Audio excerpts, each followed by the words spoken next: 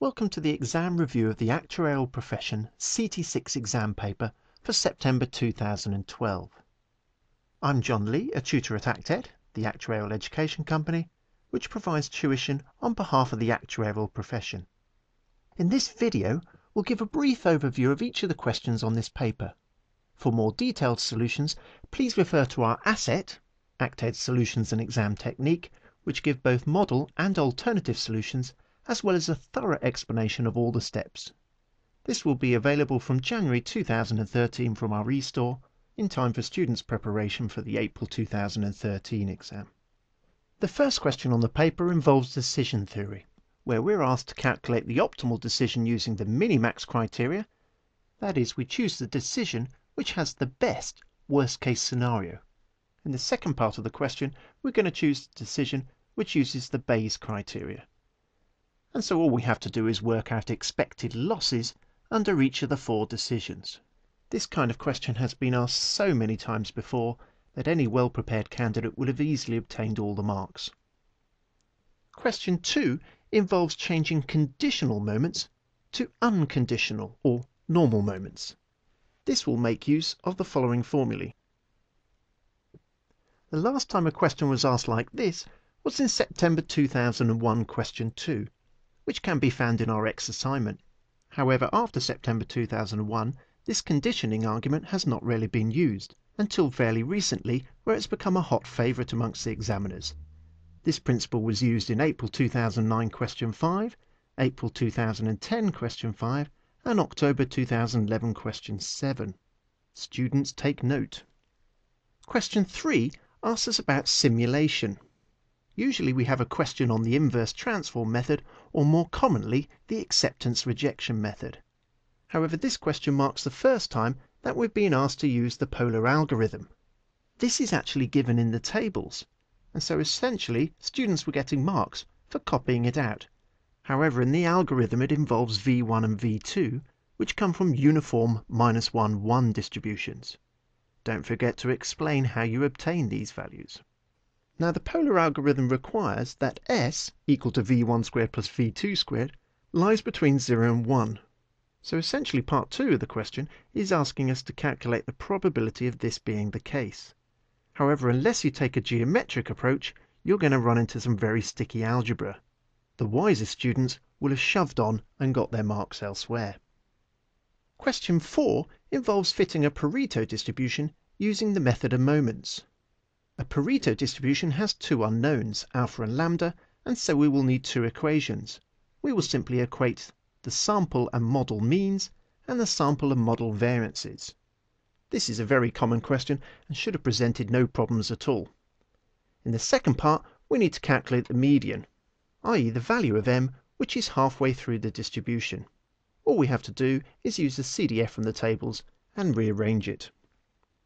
After testing generalized linear models on the April paper, this time the examiners tested the exponential family. And it was a welcome return to the binomial distribution.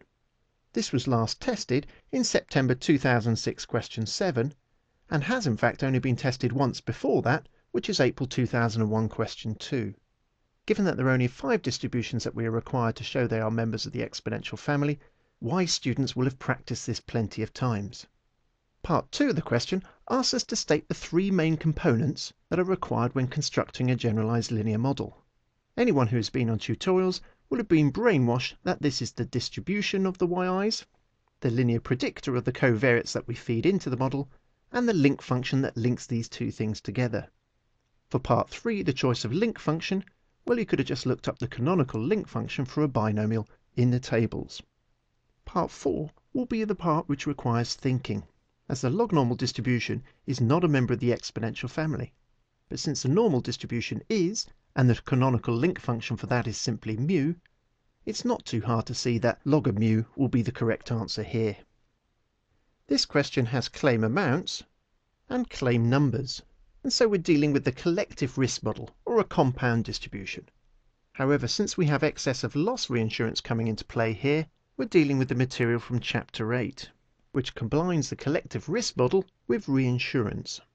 Finally, the question repeatedly asks us to calculate the premiums charged. This will be using the formula given in the ruin theory chapter, that essentially we take the mean claims per unit time and add a loading factor. For part 2 of the question, we simply need the probability that the normal distribution is less than 200. However, part 3 will be the tricky part. How do we combine the probability that an individual claim is less than 200 with the number of claims that we might get in? Well, essentially we're going to get a summation here. However, I suspect most students will have moved on to part 4. The premium charged by the reinsurer is simply the mean claims per unit time paid by the reinsurer, add on its loading factor. However, E of SR will require us to calculate the mean claim amount paid by the reinsurer in one claim, often denoted by E of Z. However, the claim amounts unusually follow a normal distribution. This has only been asked once before in September 2010 question 10. As long as students remembered the truncated formula for the normal distribution in the tables, they would have been fine. Had they not, they would have got themselves in a pickle. And part 5 asks us to calculate the profit, i.e. the net premium kept by the insurer after the reinsurer has taken their bite, take away the average claims paid by the insurer. Part 7 was testing the basic chain ladder, and these first seven marks would have been a gift to any student. However, in part 2 of the question, we were asked to work with fitted payments. The last time these were asked were in September 2002, question 7, which is included in our Q&A Bank 3. Essentially what you do is use your cumulative development factors on your initial claims to see what we would expected in those years and then compare them to the actual. The steps are fairly simple. The problem would have been whether students remembered this. In question 8, part 1, we have a Poisson distribution and some claims data, and we're asked to determine the maximum likelihood estimate. Essentially, we know this is going to be the mean. However, for our 5 marks, we're going to have to show some working. This is a very standard question and should have presented no problems at all.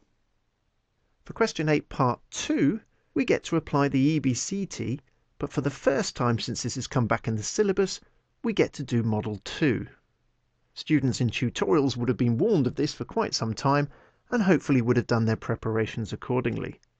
Essentially, all we're going to do is take these numbers and stick them in the formula in the tables, which should have been an easy 6 marks. And part 3 asks us to explain the difference between maximum likelihood estimation in part 1 and the EBCT in part 2. The key feature being that EBCT just works with data and makes no distributional assumptions. And now we come to the last two questions, which cause the most grief to students. Question 9, test time series. In the first part, we're asked to apply a seasonal difference to transform this into a stationary time series. Well, given that this is equal to 1 minus the backward shift operator to the power of s times xt, it should have been fairly easy to notice that s is 3. And by applying this, it will strip out this factor from the time series which leaves us with an AR2. Students who didn't pick this up would have found it almost impossible to get anywhere with the algebra in part 2. Moving on to part 2, we need to estimate the parameters alpha and beta. The way we do this is to use a method of moments. So we need to calculate the true values of rho 1 and rho 2 and set them equal to our observed sample values. Obtaining expressions for rho 1 and rho 2 is the bread and butter of any time series question and should have presented well-prepared candidates no problems. However, solving the equations was a little bit more ugly, and hence the need for the examiners to give this hint. The last part of the question doesn't actually rely on previous parts, and so even if you couldn't complete part 2, hopefully you could have picked up some fairly easy marks by simply rearranging the defining equation and substituting in t is 101 and then t is 102. Our final question in the paper involves ruin theory, adjustment coefficients, and reinsurance. It's a beast of a question. However, it's also very similar to September 2002 question 5. In part 1, we need to find the smallest value of the retention to ensure the company makes a profit. Well, this is going to be using the same formula as we used in question 6. We require the net premium kept by the insurer after the reinsurer takes its bite to be greater than the net claims kept by the insurer. In part 2, we need to get the adjustment coefficient equation for the insurance company? Well, usually this is lambda plus the premium times the adjustment coefficient equals lambda times the MGF of the claims with the adjustment coefficient as the parameter. But when reinsurance is involved, we now have the net premium and the MGF of the net claims. For part 3, we need to calculate this adjustment coefficient when m is 4. This will basically involve trial and error, or those who've got a Casio FX85 ES or better can just use the table mode. And if you know anything about adjustment coefficients, you'll know the value's fairly small, so try values between 0 and 1.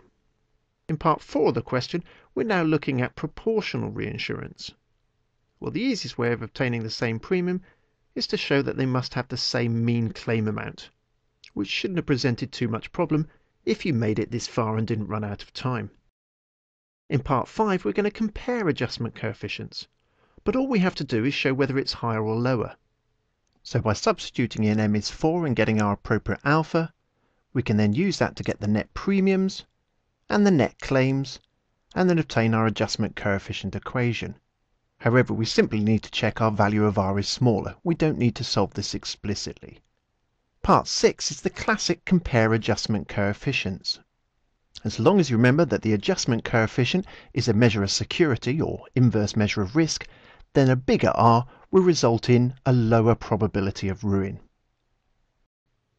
If you wish to chat with your fellow students about this paper, then feel free to post on our forums at www.acted.co.uk forward slash forums.